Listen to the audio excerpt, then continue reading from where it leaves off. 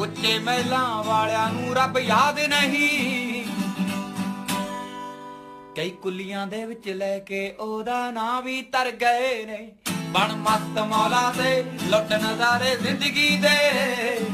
ਇੱਥੇ ਟੈਨਸ਼ਨ ਲੈ ਕੇ ਵੱਡੇ ਵੱਡੇ ਰਾਜੇ ਮਰ ਗਏ।